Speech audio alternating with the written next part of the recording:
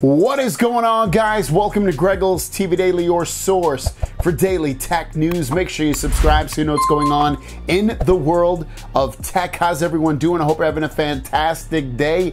We have one story for you, zero questions, and I'm recording this really late the night before you watch this because we're going to go to uh, Universal Studios. So I'm pretty excited about that, bringing the little little man to that. Um, but without further ado, we get some great, interesting stuff on the Galaxy Z Flip 4 and Fold 4. So you're definitely going to want to watch this episode because it's not going to take forever. And I'll put my little face at the bottom of the corner so you can see my pretty face as I read what we're going to talk about. And this information comes from Reddit. I saw this on Reddit, and it's a post coming from a person that works at a carrier store, like for instance, I don't know if he works at this store, but he works for like AT&T. A Samsung rep came in with the Galaxy Z Flip 4 prototype, spoke about the phone, what that phone had, and what the Fold 4 will have.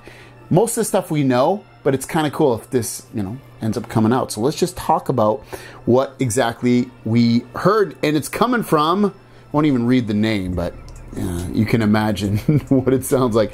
Just got my hands on a prototype Flip 4 for a few hours. Like the title says, I work for a carrier, and my Samsung guy came in today for a few hours. Got to play around for a few hours. He likes the word few hours with my prototype Fold 4. Phone basically looks the same. Cameras do stick out more, and the edges are definitely shiny like an iPhone 13 Pro and Pro Max. He told us the phone uh, will come up with up to 512 gigabytes of storage, which is what we heard and what a lot of people want.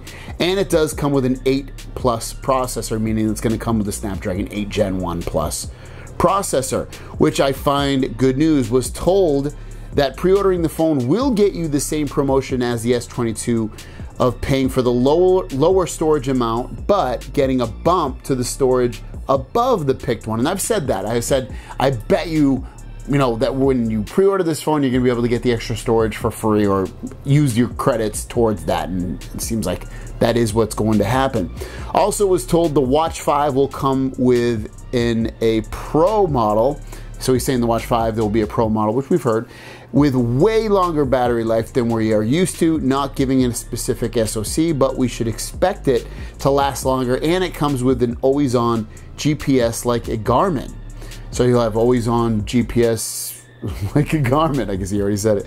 Also, the Buds Pro, he's talking about the Buds 2 Pro, uh, will support 24 bit audio, which we have heard, which is a higher quality audio bit rate.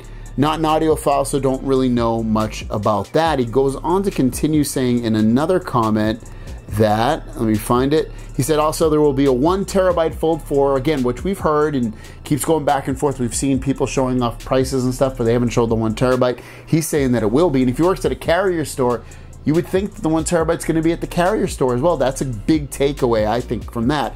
We were also told about $29 screen repairs on the Z Fold 4. That's huge, especially if you don't have to get any insurance with the phone and it only costs 29 bucks for screen repairs. Again that's going to be absolutely massive. But i don't know much more than that and he didn't explain more. And of course no sd card slot uh, and space zoom on the fold 4 almost forgot. So we've heard that, heard that too that the fold 4 is going to have updated cameras and that the cameras he's saying in even more of the stuff if you read more through the thread that it's going to have cameras more like the S22 Ultra, but from what we're seeing megapixel wise, it's going to be more like the S22, S22 Plus.